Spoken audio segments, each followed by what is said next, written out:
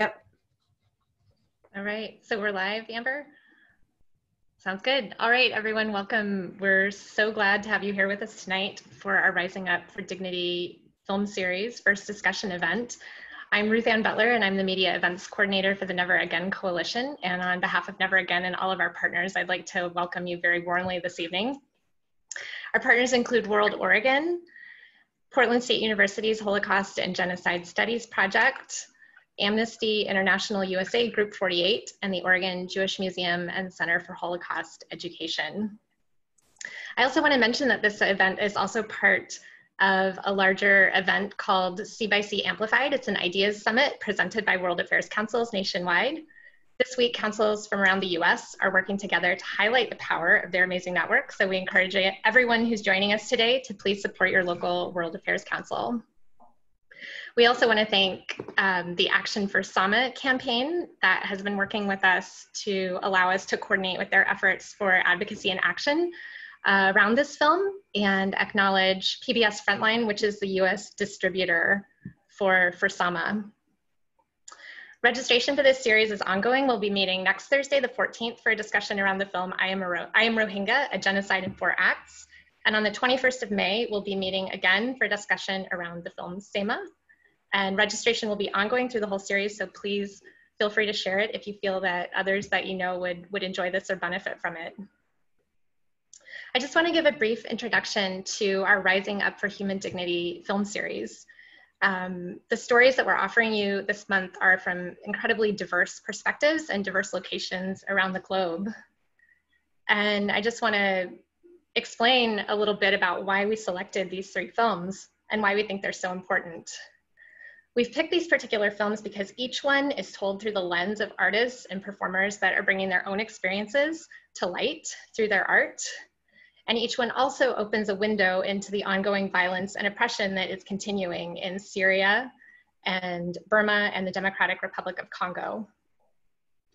Although these conflicts are relatively well known to the global public, they continue with impunity for the perpetrators and often they're framed in abstractions and ways that sometimes even contribute to dehumanization.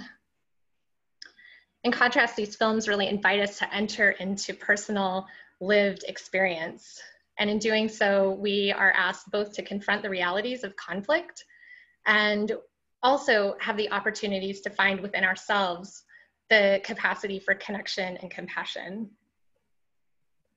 Through these films, we're able to witness the beautiful ways and profound ways that life rises up, even in the face of horrible oppression, and the ways that when we're confronted with personal and collective tragedies, our capacity to share our stories can allow us to restore meaning and connection.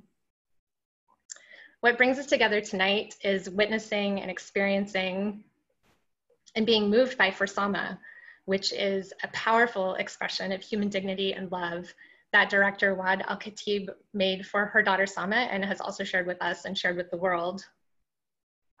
This evening we'll have about half an hour for discussion with our moderated panel and you'll meet all of our speakers in a few moments. And then we'll open to questions. We have Tim DeRoche, Director of Programs at World Oregon, who will be bringing the questions to the panel. And I'd also like to introduce our panel moderator, who is Dr. Amanda Byron, she is the director of Portland State University's Holocaust and Genocide Studies Project.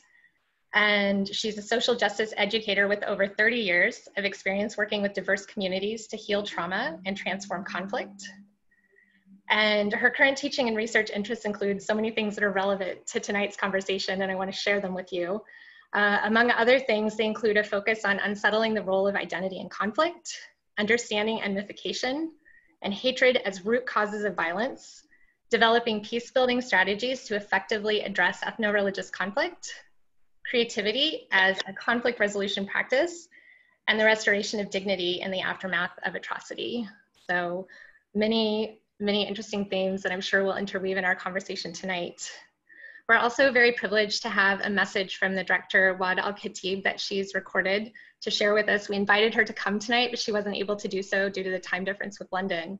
So we will we'll share her message with you now, and then Amanda can take over and we'll meet our panelists for tonight and get into our conversation.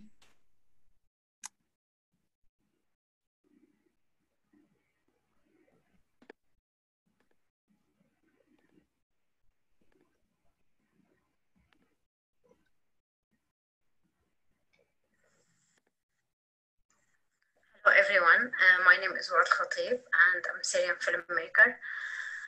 And also, I'm an activist. Uh, my film for Sama was uh, made during five years of the uh, revolution in Syria, Aleppo, and it showed just the reality of our life there and some of the crimes that was committed by the Syrian regime and Russian forces. Um, I'm so happy today that For Sama was chosen to be part of the uh, Raising Up for Human Dignity film series. And thank you so much for the uh, Never Again coalition for inviting me to be part of this. And at the same time, I'm very sorry that I can't be there, um, but for once the time difference is too much. Uh, and for a mom of two little daughters working from home, it's really like disaster what's happening now. Uh, but at the same time, like I'm really uh, glad that this conversation is happening and um, like this great panel discussion today will keep uh, telling people about what's happening in Syria until today and demand accountability. Um, I'm just uh, still hoping that one day we could find uh, the justice that we are seeking uh, for every day uh, since 2011 when the Syrian revolution started until today. Um, my experience in Syria was um, so mixed between being uh, the female filmmaker and the mom at the same time. And both these roles were having so much challenging, totally different from each other, but also at the same time it was just being faced like the same community and the same fears a minute by a minute that I will lose myself or I will lose my daughter or my husband. And um, to be one of that community, uh, like trying to create that hope every day, to keep going and keep finding um, a reason for what you are working uh, on and how you need to keep your camera being recorded every second. And at the same time you feel that struggle between you and yourself that maybe this is, will not change anything. Um, at the same time um, there's part of the community where they are really not uh, respect or um, appreciate or even like recognize how important is it to document and to um, like save all these war crimes from one point of view, which I totally understand because sometimes I was feeling the same. And that's minutes while I was behind the camera and while I'm like filming a boy who's um, like almost almost dying or very bad injured uh, patient in the hospital. I was always like asking myself why I'm doing this is it really will change something? Uh, or is it just will be an, another clip will be in my um, archive? And that's what people there think about what we were doing as filmmakers. And as a mom also uh, to see my daughter growing up in front of my eyes and feeling sometimes very hopeless that i can do something to protect her. But also i need to try to keep going and try to create that hope to look around me and see the other kids uh, who's living there or the other families and smile and pretend that everything would be fine and we just need to do what we really believe in. Um, the decision about staying there or leaving, it was something we've never uh, were uh, like thinking right about that the only thing we wanted as uh, like Syrian people to stay at like in our houses and in our country, uh, trying to um, fight for our rights and freedom and dignity. And that's what the Syrian Revolution. Um, that's why the Syrian Revolution started in 2011, and that's why we were trying to keep that belief in ourselves all the time. That whatever the price was now, but we, this is all will be for a free country. Um, the last crime happened in front of our eyes before we leave Syria was the displacement. Um, and for so many people, they were like really happy that we are uh, like safe, and we felt that too. But at the same time, there was something we could never forget that we were forced to flee out of our uh, country and we were pushed to leave our homes and our uh, like cities. And that wasn't happening just in Aleppo, that happened also in another uh, four cities at least. That's what we hope one day we could have from accountability and when justice will happen is really to put account to put uh, every person who committed any crimes in Syria under accountability. Uh, after Sama was released and with the amazing reaction and response from the people all over the world, we created an impact campaign called Action for Sama. And we were just trying to like gather all the amazing response and the anger that people feel sometimes, the sadness that they feel, and the hopeless they like could feel after watching the film. Um, and some other people who felt like strength and they felt so strongly that they want to do something to Syria. And that's why Action for Sama started. Uh, so please like join us in this and check Action for Sama on social media and our in our website. Um, like we can do everything, but we can do just a very simple steps uh, where it could help someone in Syria or it could push more for accountability or uh, like put uh, the governments all over the world under more pressure to do something and to act uh, to change and end the suffering of the Syrian people. Uh, thank you so much again, and um, I wish everyone of you will stay safe. Um, and um, sorry again for not being with you. Um, and thank you so much all.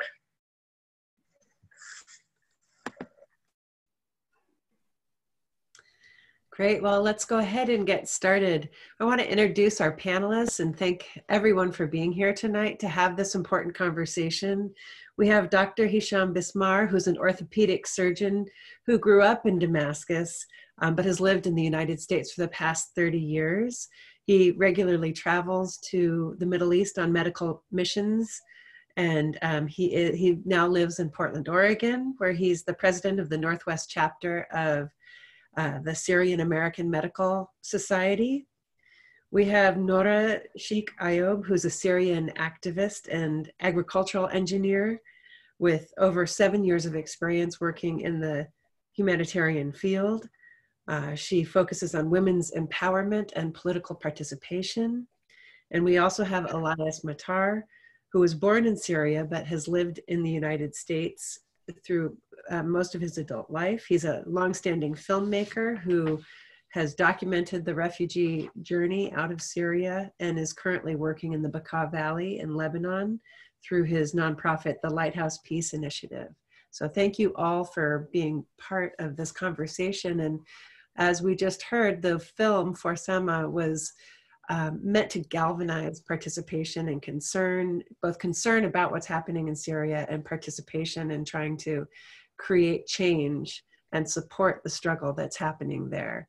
So maybe as a starting point, you could start off by um, talking about your own relationship to the struggle in Syria and your reflections on the film, how it may have um, represented the need for action, how the storytelling that was present in the movie um, either mirrors or um, differs from your own stories.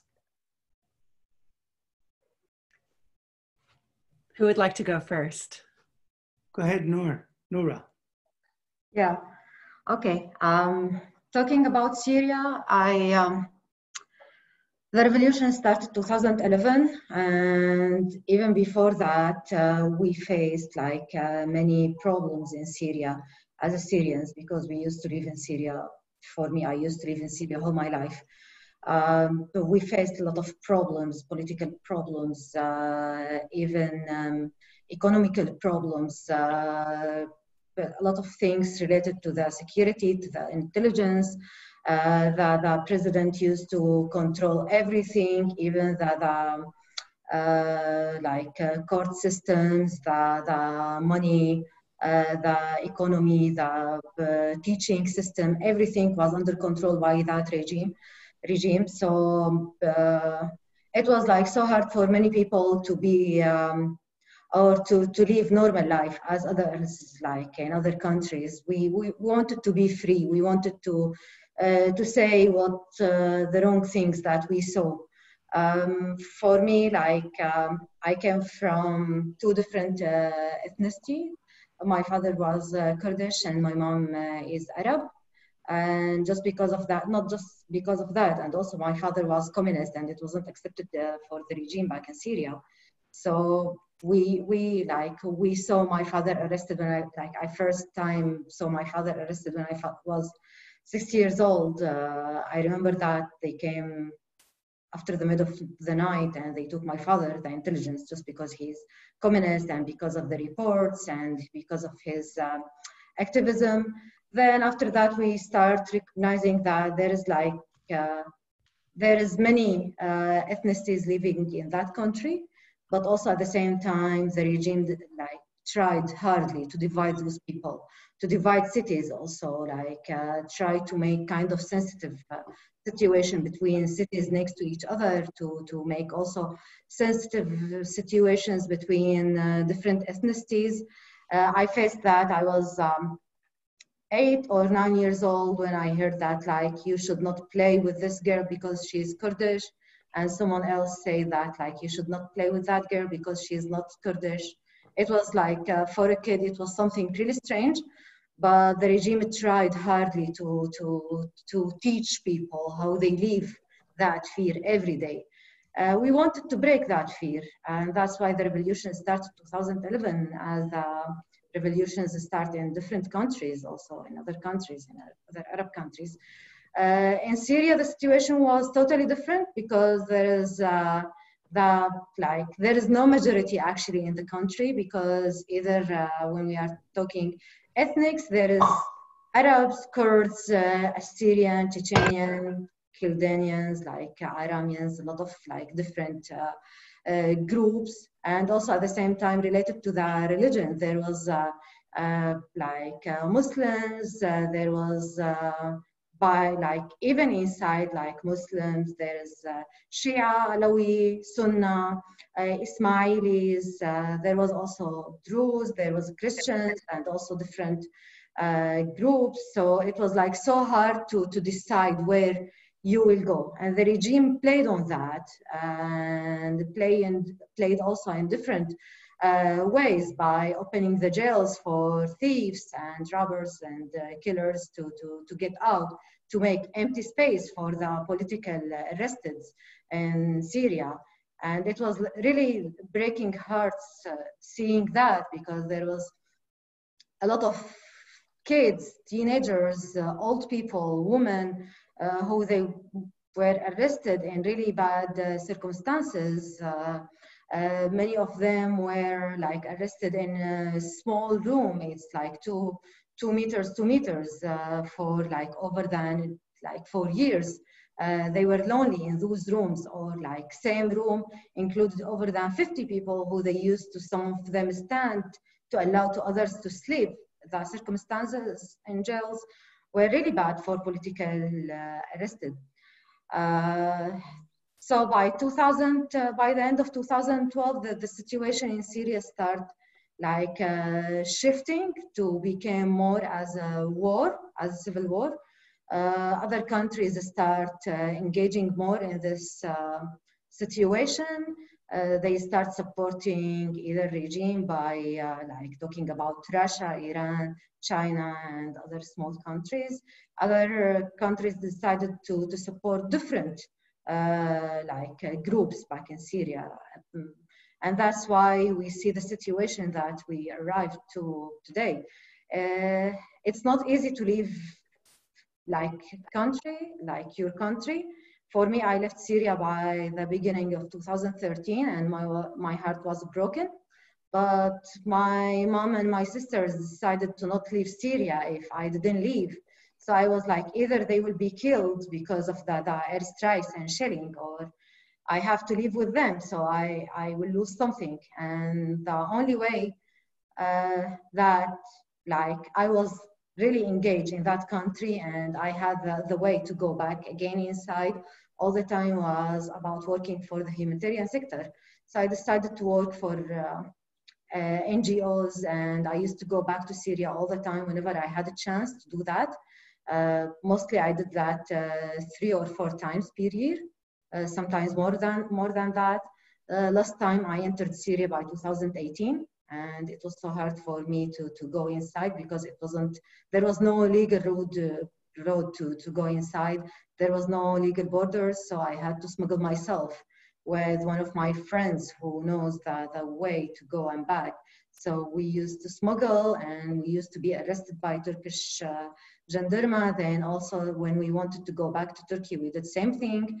And it was so hard to, to, to smuggle and to, to, to do that uh, and legally to go back to your country to do some work, but also at the same time to smuggle because it's not allowed to you to go back to your country uh, to do sounds like it took a lot of dedication to to to go back and to do the humanitarian work that you were involved in so thank you. Well we're going to come back to that because we want to look at what the what the opportunities are for involvement at this point and how we keep our keep our eyes on what's going on in that part of the world so thank you very much for your introduction and the hard work that you've been engaged in Thank you.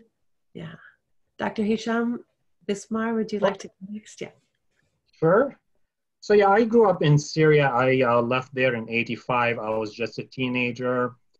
Uh, you know, as most of teenagers, they're usually rebellious. I was uh, rebellious against the government. Uh, I also had issues with the society in general, and that's when I came to the US. Uh, I came to Dayton. Uh, I would say it was a bit of a disappointment to come to Dayton in the Midwest but uh, I think it did um, help uh, highlight my sense of being Syrian over there. Uh, just because uh, the uh, the uh, the society around me did not really react all that well to somebody like me, somebody coming from the Middle East in the middle of the 80s. yeah, I started actually like Noura as an engineer, and then later in life I switched to medicine. Um, because I wanted something uh, more interactive and more live. So I always wanted to do some humanitarian work, uh, and then um, the issue, uh, the uprising in Syria started in 2011. As it started unfolding, uh, I remember uh, I was becoming very frustrated to me, it felt it's the same way that it, it always happened in, in previous conflicts. Uh, I remember specifically the conflict in Bosnia. Uh, at that time, uh, in the early 90s, I was uh, becoming very um, irritable. My friends really did not really grasp, my American friends uh, did not grasp why I was so uh, involved in it.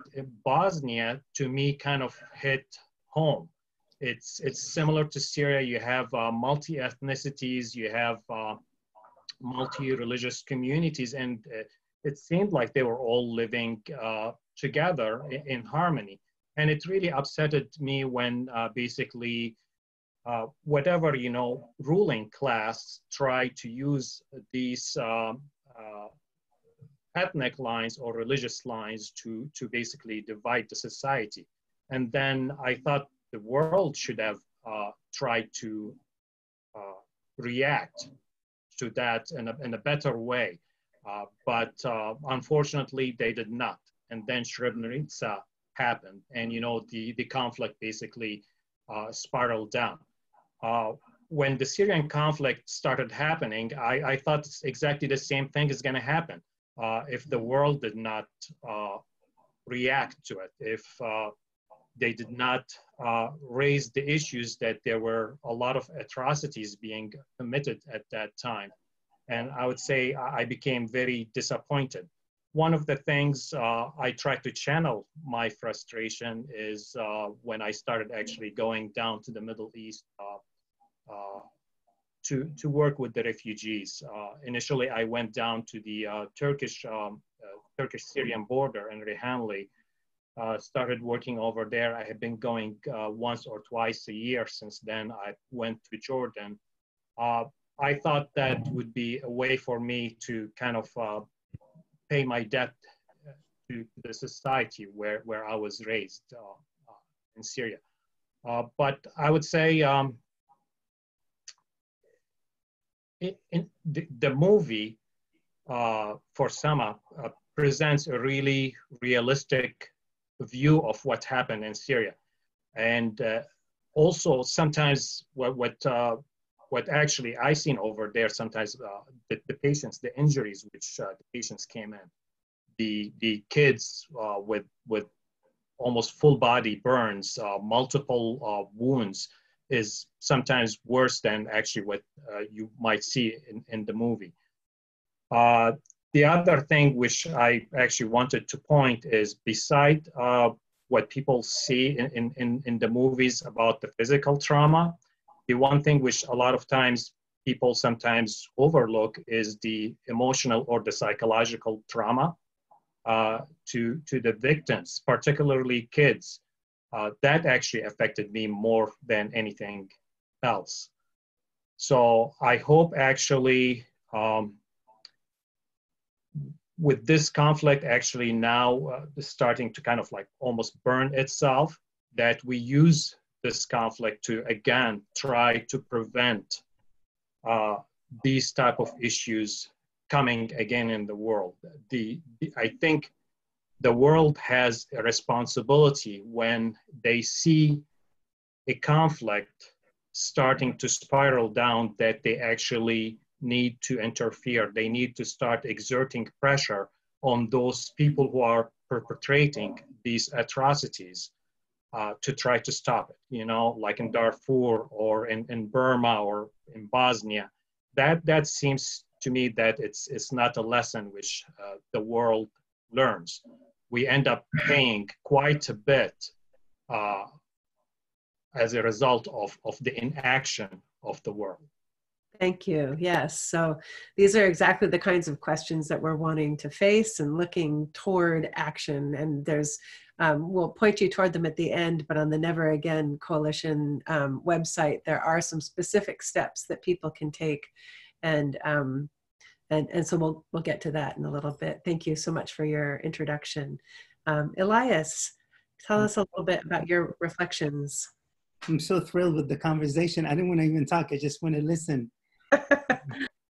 Um, okay, so I was born, just a correction, I was born actually in California, but I lived in Syria for 15 years, um, mainly Damascus and then Latakia.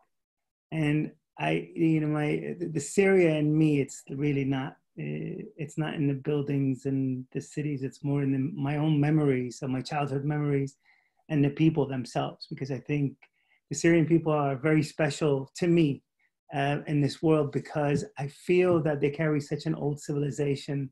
We are old religions. We lived in such a harmony among so many different tribes, and there's something really special about Syria. Always been and for me personally, as an artist, you know, I share with both of you. I actually, oh, most of Syrian kids end up going to engineering school anyway. you know, so it's not. It's not sorry about that. It's not about the, you know. Uh, but I didn't obviously. I didn't stay. In, I didn't go to medicine, and uh, you know. But um, Syria to me is a dream. Syria to me was so beautiful as a kid, like walking on the cobblestone streets in Damascus and going to I, I think i must have been eight years old when i took public transportation i mean it, it's to me it's just that's what i love about syria my own memories with my family and my big tribe um, and it's uh, to to go you know and i you know i came back i came back to indiana by the way so very close to where you went to school so yes. I'm, a little, I'm, a little, older i'm sure you enjoyed it it was amazing you know, not really. But um, it, it, but it's really funny because in Syria I was a minority, and then I came to the States and I was a minority. So it was just sort of like a strange thing for me to live with that reality that that would be my that would be my reality for the rest of my life. So I had this almost self-hating part of myself, right? And um, I went back to Syria a couple of times, and I left in 1981, which is the first the first incidents would happen. And I lost a lot of friends back then. And I, I never really had made peace with Syria and, and the people without talking about politics. For me, I never made peace with Syria. And I went back many times and my last trip to Syria, you know, um, I end up anyway going to jail, and then um, and I never went back till I had kids, and up 16 years later. And the reason why I wanted to go back is I just my ex-wife and my two kids wanted to see Syria, so I want I feel I feel really obliged to do it, and I took my family there, and I, that feeling of belonging was just so inside of me. But I really struggled with the situation and the injustice for me personally, and I'm not talking about political. I'm just talking about as an individual. And flash forward to to to, to you know uh, when the whole crisis started, a revolution depends, you know, how you look at it. For me, it is the call for change that was really powerful for me. And i really start like i wanted to be involved. And um, i remember you know i did a lot of i used to be a long distance runner. So i would dedicate these runs for syria for peace in syria for change for syria. And not till 2014 uh, 2015 when i saw uh, on the news that there is this smuggler who left uh, 70, 70 people in a container on the side of the road in, uh, in Vienna or Austria, and they died, suffocated to death. And there were Syrians that were trying. And then I studied like what the international community can do. We're talking about individual, not countries, can go out there and show up and then be witness. That's why documentaries are so important because in that, you know, people can change the history we know it. We see it today, people changed in the history. But the documentaries are there to document the truth, right? And that's why I love this movie because she documented something that you cannot lie about because you could see it, you can read it. And that's why this, this particular documentary, I love what she did. I'm a huge fan of her. What she did for her life, her family's life online to tell a story, that was powerful. But anyway, so my involvement you know, to connect to this story. So my involvement began in, in Europe at the beginning where the refugees were walking. Same thing Greece, same thing in Turkey. In March of 2016, those borders were closed, solidified, and the refugees were stuck in the countries they were in, like in Syria, Jordan, Turkey. And then I felt the need to move on to, to Lebanon because there's like two and a half million Syrian refugees living beyond, like nobody knew anything about them. And um, ironic that the same time she was actually in Aleppo, in the last, she's talking about her exodus out of Aleppo, I was actually in the Bekaa Valley in Lebanon. And we saw a huge influx of youth and young people from Aleppo at that time. Amanda, I remember I talked to you about that um, when I came to show one of my films there. And it was really what, she, what you're talking about, uh, Doctor, about how the trauma these kids have, the adults, like it was, it's just mind blowing right? Especially the kids themselves. And to talk to Noor specifically of call to action, what my fear is today is not the, about the one who made it to Europe. It's not about the one who made it to died. I mean, of course, we feel sorry, and I'm not sounding arrogant. I feel sorry for every soul that was lost in that conflict.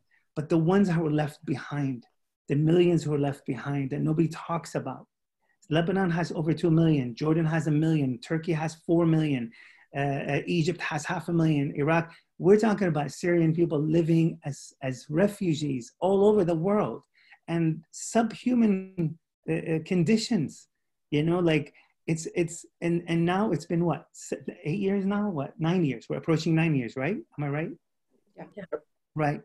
The number of youth that were born after the war and the youth that were kids and now they're adults with no future. That's what terrifies me. This is why I call everybody to action. We need to engage the youth of the Middle East, the Syrian youth in all these different camps, because otherwise they are going you know what they're gonna happen to them. You know, they're either gonna throw into like the girls into 14 year old getting married or the boys are working labor when they're 10, 12 years old, or or worse than that, being involved in the dark world. You know what I mean? And this is what, you know, Amanda, that we talk about is we need to do something for the youth. And that's what I formed my organization. Through art, we give them some sort of healing. You know what I mean? Because I don't believe, I, I don't trust any politicians in any country. They have turned their backs on, our, on all kinds of people, especially on the Syrian people. So, this is a great this is a great moment to pivot so i'm going to jump in elias and just to say that um, these are very diverse perspectives of your relationship and work in syria and the two questions that we're really left with here in the time that we have is to think about how we um, how we galvanize change and each of you touched upon that in different ways of like what's needed to try and create change and and um, make a difference and from this point moving forward but another issue that i really want to pose to you is how we um, how we keep the struggle of syrians as elias so eloquently just described the syrian youth millions of syrian people who are sort of in limbo in refugee camps. How do we keep that uh, the international news story or attention on this struggle? Because oftentimes when something happens like nine years ago it was in the news. Now it's not so much being brought in front of people's um, eyes and so people are not continuing to focus on the implications and the consequences of those nine years of um, struggle. So how do we bring that into the consciousness of people who are willing to take action towards change and what action towards change is necessary at this point? So i'd love for each of you to jump in and talk a little bit about that. We've got about um, 10 or 15 minutes uh, before Tim is going to bring in some questions. And so maybe each of you could take a couple of minutes and address those two issues. How do we bring uh, the international attention to the continued struggle? And what are some mechanisms? Elias mentioned the arts. What are some other ways to galvanize that transformation and change? Noura, want to start? Okay. The problem, the problem is um, like uh, taking the, the attention of um, like uh, like uh, globally it's not easy because um, after nine years there is a new crisis and new problems uh, already start like uh, showing on the top. So um, like it's so hard to to to like take the attention all the time uh, but I can say from the beginning uh, that the political uh, side of each country had really huge uh, like uh, information about what's happening in Syria. But when we talk about civilians in those countries, they don't know anything. When we talk about refugees, an example, everyone wanted to help, but everyone was shocked also at the same time when they start getting refugees because they didn't have really a clear idea about what's happening. Um, so it's uh, really hard to, to do that. Uh, but many people, like, I, I don't want to call them people, but like either NGOs or civilians or uh, journalists or um, uh, doctors, like almost everyone can do something try to do that. Uh, journalist is not enough because also people they don't watch uh, really enough news um, uh, I noticed like uh, I moved to Canada recently and I noticed that most of my friends, they don't uh, watch the, the international news. They focus only about the, the, the local news. So making movies, it's something can make people uh, see that, but also the advertisement for this movie to make it really like um, uh, reachable for everyone or make it like free or also make the idea about it uh, take the attention of everyone, it's something kind of hard. And that the thing that we have to work on.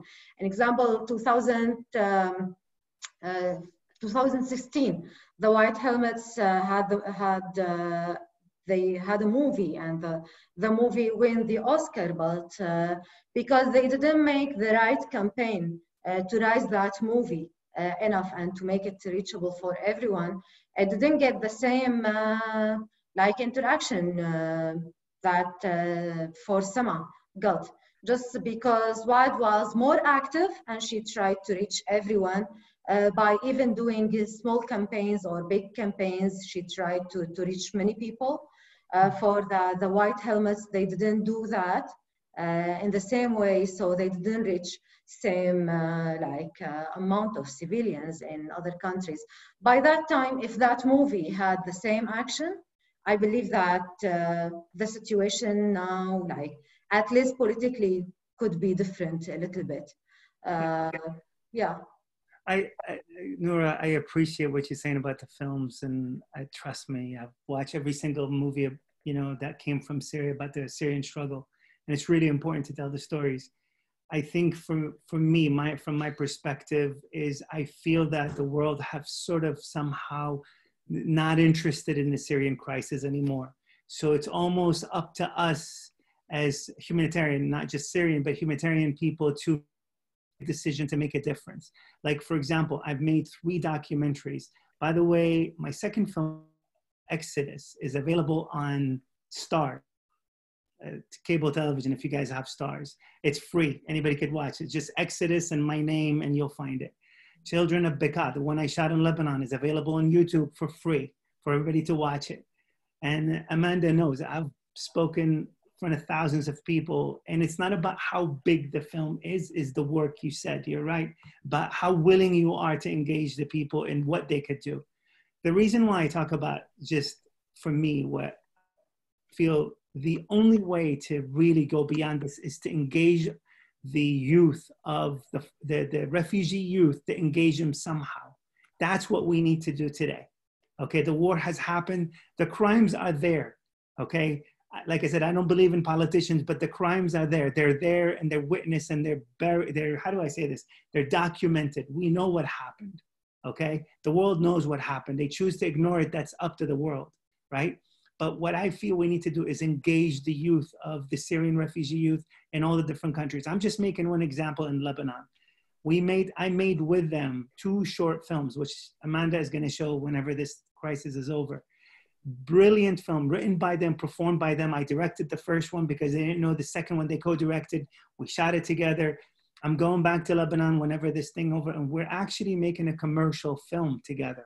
It's nothing to do with the crisis actually a horror film but it's in arabic written by us performed by us and it has a commercial value because i feel for me that we need to step into that space in the world and say you know, we are not just the refugees. We are human beings. We are capable.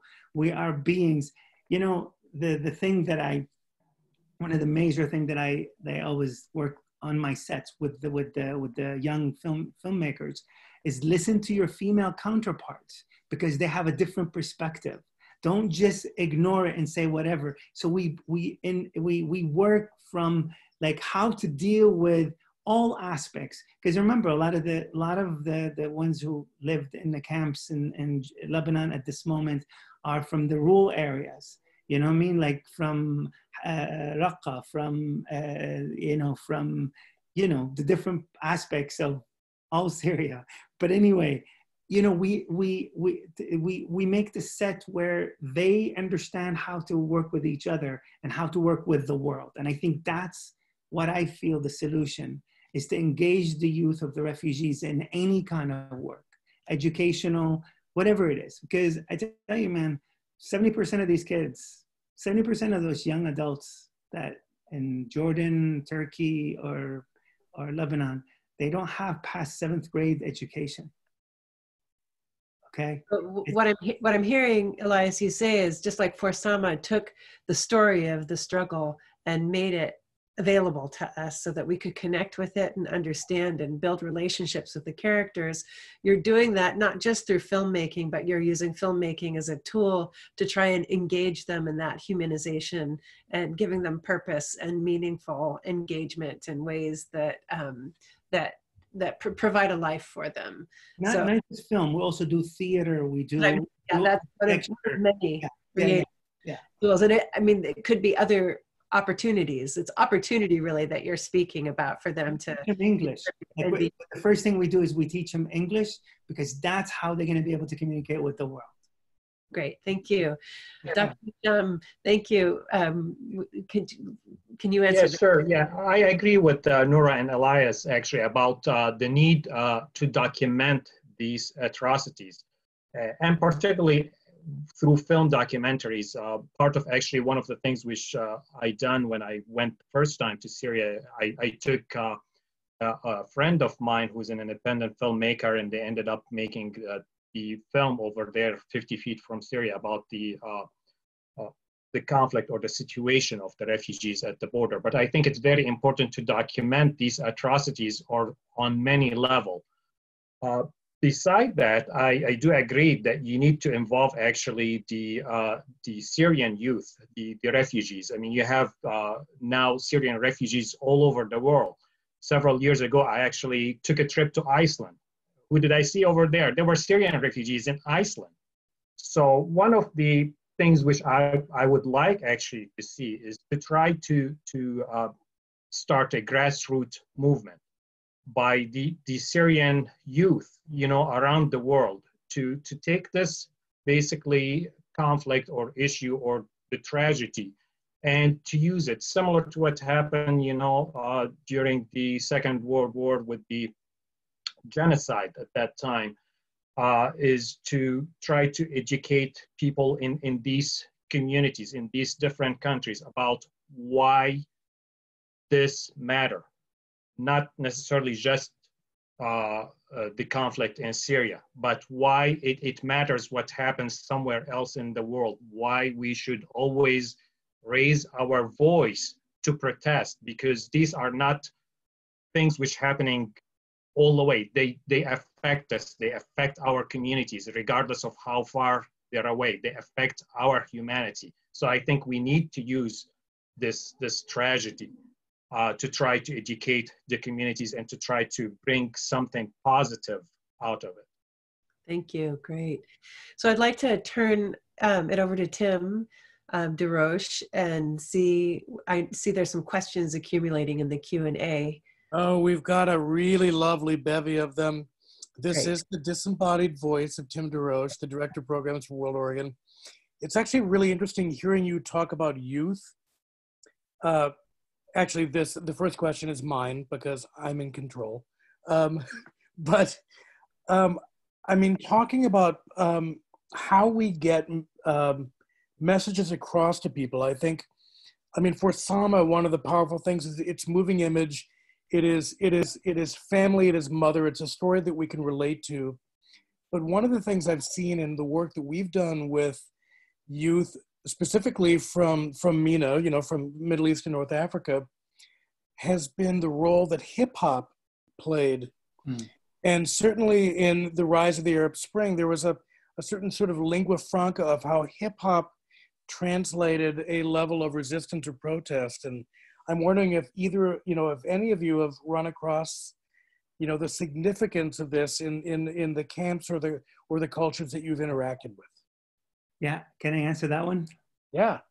Okay. Uh, hip hop is huge, man. It's funny. Um, in Beirut, actually, um, my tattoo artist is in the hip hop scene of Beirut, in the underground hip hop scene. And there was a Syrian guy. There's their poetry. They're like basically street poetry and they go in there and they do it on YouTube and they basically Lebanese guy basically goes against the Syrian and they're both rapping about their situation. And of course, there's a lot of friction in the youth between the Lebanese and the Syrians at this moment because of what have and have not, right? So it's really powerful. And then in the camps, um, actually in the film, one of the films that I did, the uh, one of the films, the Young Syrian Filmmakers, by the way, that's the name of the group, the, the Young Syrian Filmmakers, that in Lebanon.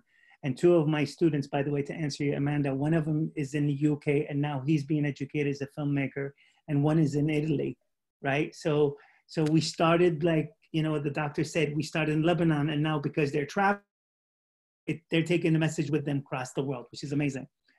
Um, but uh, to answer you, Tim, about hip hop, it's so huge, and especially in the camps itself, more, more than you can imagine. And there like some of them do the love stories and some of them does about the hardship. I don't it's hard for me to understand because they go really really fast but i ask them to write it and i can read it and it's it's really really powerful. Um i wish there is a more voice. I wish there is an american uh, hip hop artist that would you know you know take under the wings some of these young kids. Actually in one of the documentaries one of the films that i did um, there's a segment you actually see the guy doing rapping. Um, so I mean, hopefully when people get to see that, they recognize the fact that they do have the chops. Tim, did I answer you, brother? Oh, that was that was phenomenal. Okay. Um, Uh, so we have a question from Janelle. How supportive are um, countries of the large numbers of Syrian refugees inside their borders mm. of what you're going through? Can you be specific? Which country? Um, well, you you talked about Lebanon. We have Turkey, and like where we have seen um, large um, enclaves of refugees. Is there is there a sense of collaboration, and um, or is there a, or I mean, I'm, and I'm just reading one. I'm reading a question. I'm interpreting what the meaning of their question is. Is is there a sense of um, a Mobius strip back to Syria that they have taken on people? Are they in, are they invested in what is going on back in Syria? I mean, according to the people in the camps, uh, the youth have don't want anything to do with Syria. Most of the youth that I met, um, and that's true for Turkey. That was true for Lebanon for sure. I mean, the elder, the the older, the ones who will not be taken into the army. I'm, I, I, I'll, I'll stop in a second to let you guys answer. But from what I, my experience in the camps, I've noticed a lot of the youth are not youth and have no interest because they feel that they don't want to serve an army. That was the reason why they left, right? The people who pass that age, older people, you know, they do go back. Uh, the one with little kids, they say maybe with time, but um, I didn't really, I don't see that sense of wanting to go back because of, unfortunately. That's what I saw. That's just my experience. Let's uh, give the, the panelists a chance to address that if they have something. Yeah. I'm not quite. I understood uh, the question. How uh, how are the countries where you have a large Syrian refugees involved in the conflict? Is that the question? I think the question was if a country has taken on, on a lot of refugees, are they invested in what is going on back where they came from? Uh, I think to some extent, I mean, I, I, can only speak about the countries I've been to. Uh, I mean, Turkey is definitely pretty invested because they have the largest, I think, the largest number of Syrian refugees in, in, in the world. Uh, but also you have to take that uh, with a grain of salt. I mean, I'm pretty sure they have their own uh, agenda uh, interests inside Syria. Uh, I'm going to put it politely. everybody has interests in Syria. but yeah, I mean, I I think like the other country would probably be Germany. I think they have been very proactive and definitely more involved than our government uh, in what's happening in Syria. I, I really do not like um, how the United States in general responded to, to this uh, conflict, uh, whether it's uh, through the Obama administration or through the Trump administration. Noura, anything to add? Yeah, actually, uh, talking about uh, refugees, especially in Turkey, because I used to live in Turkey, it's something not about Syrians by themselves, because um, yeah, mostly they Syrians they don't want to like they prefer imagine it's um, people calling you a refugee and you live in a camp but also at the same time you decide that bad circumstances is much more better much way much way better than going back to syria either like to be killed or kidnapped or uh, arrested or like uh, because you don't support the regime. So you will be on the front lines all those things. So people decide between like being a refugees or going back. They decided to be refugees and smuggle by uh, the sea and face all this or suffer by all those like bad ways to be refugees rather than going back to Syria. But at the end of the day, the, the, the governments who they host refugees, they have their own words. Um, because an example, Turkey, when uh, they start uh, pushing on the European Union to get more money, uh, what they did is try to play on the card of the refugees. They opened the border again to, to allow to, to refugees to smuggle to Europe. And also at the same time, before that, in like short period after the, the election, especially when they lost Istanbul, the, the, the the like uh, president uh, party lost Istanbul, they start opening the gates and sending Syrians back to Syria. And I heard many bad stories about uh, someone because he registered in other city and his wife used to like register in different city and he used to live in the city that his wife registered in with his kids. So they took him and sent him back to Syria, just not like he, they didn't send him back to the city that he registered in. So this man tried to smuggle many times to go back to Turkey just to see his family. And at the end of like after he tried four or five times, he been killed. He's been shooted by the, the Turkish gendarme. He's been killed on the border. And his family now, they don't have any supporter because the, the Turkish government decided to do that. But the Turkish government, as a government, they don't care about those small cases. They will play it as a government. Uh, it's related to their interest. Yes, there is some humanitarian part that they are working in, they care about, but also this part that they care about, it's also to protect their faces because many civilians in Turkey, they support the refugees. There is many they don't support, but there is others who they supported.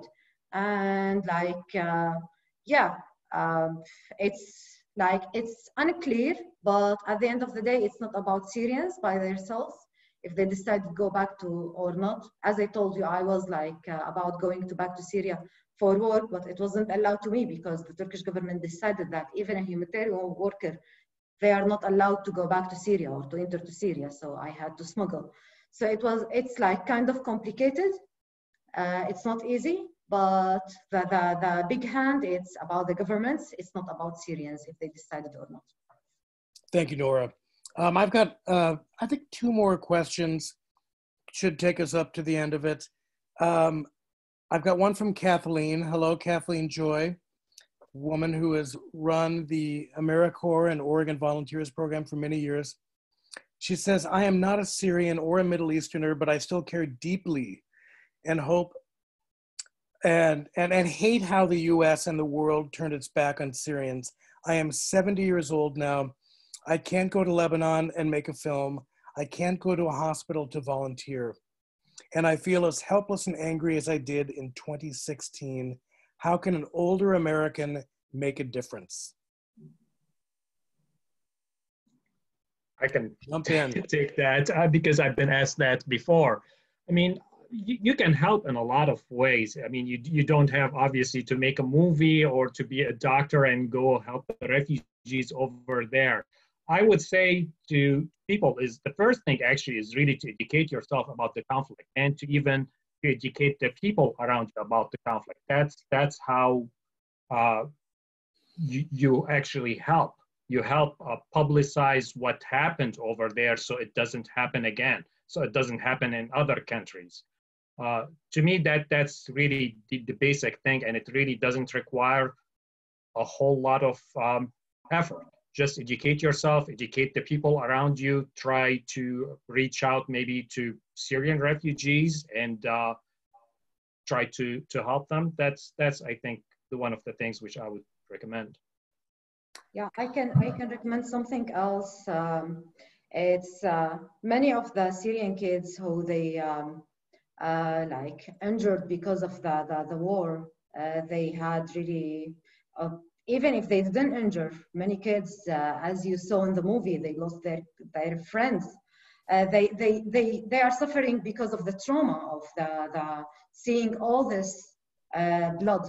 So like we can suggest something like uh, maybe collecting toys, used toys to send them to those kids, uh, maybe books, maybe ways to, to, to educate them by finding um, online courses or support in those small details in their lives just to make them grow as normal kids not, and teenagers not only as like uh, it's not about working in a hospital or crossing the borders or do something really big.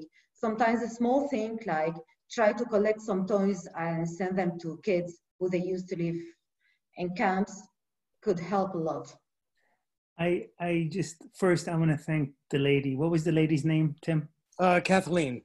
Kathleen, thank you for what you said. It's beautiful. The fact that you're watching and you're listening to what we have to say, that's powerful enough.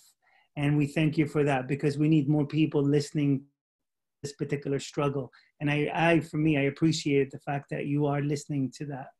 Um, for me, I agree both with Noura and uh, Doctor, and I feel for me, um, we need to work with the youth right now because that is the future of Syria, regardless to where they live. Um, my program is one of the many programs. Support programs like that, they're working on the ground overseas. Um, you know, I agree, you know, that we don't, you know, the, the, the way how this country looked at the Syrian refugees through Trudeau administration has been just non-significant at this moment. But I think support group that you feel connected to, support the youth, and I really appreciate what Noura said about the little kids. That's what we do. We, I mean, I, part of the kids that I program, the, the kids I work with, is I find the ones that needs the most help that they're not in school, and we kind of create a little program in the morning for them so they can actually assimilate back into school, right? Because some of them don't speak, some of them have really massive trauma, some of them like have what they call cabin fever. They've been inside of a like us here but in a camp for seven years, their whole entire life. So yeah, I, I there's a lot of great kids programs where you know they buy toys and they work with kids that they are uh, um, traumatized. Anyway, so I didn't mean to take too much, but I appreciate the question and I appreciate her interest. And I, I also I want to direct people to the Never Again Coalition um, page for the Rising Up for Human Dignity um, Film Festival. Under each under underneath the tab for each film, there's a list of suggestions of different ways to take action, um, both you know places to donate, ways to publicize information through your circles of um, influence, and also some creative suggestions on how whether or not you're able to travel or whether or not you have the means to um, to make a film or you know do humanitarian aid there's lots of different creative ways of getting involved and keeping the focus and the conversation going so be sure to check those out. Thanks amanda. You know and um, one of the things that i remember reading at one point was there were something like upwards of 2 million young people not in school as a result of the crisis. Mm. and to think about the potential of a you know of a so-called lost generation mm. that is not being either in in school or being socialized outside of you know a refugee camp it's it is alarming but each each of you brought up a really incredible relationship with syria sense of place um, home um, people you know smells marketplaces all of these things and like you know moving and and and that idea of home. I mean they're deeply existential things. And so one of the questions that david brings up is you know do the majority of ref- refugees would they like to be able to return if it's possible? And if that is not the case is there a more realistic goal to have uh, refugees especially children and youth plot a different course around being able to maintain Syrian culture intact where they are, and what are what are your thoughts on that? wow, that's a that's a heavy question. I know it's it's pretty it's pretty deep, man. Sorry. I mean, can I just I'll, I'll make a simple, you know, um, it's a very complex question to see if the Syrians want to go back. It just depends um, on their age. A lot of the ones that they're teens and young adults, they've lived most of their adult life in a camp. Their relationship to Syria is within their community and their memory as kids. So um, the ones are like seven, eight years old, that means they were born into, into uh, refugee or they were one or two years old in and those have zero connection to i'm talking specifically about lebanon and a little bit of turkey but i'll talk more about lebanon. Little connection to syria itself.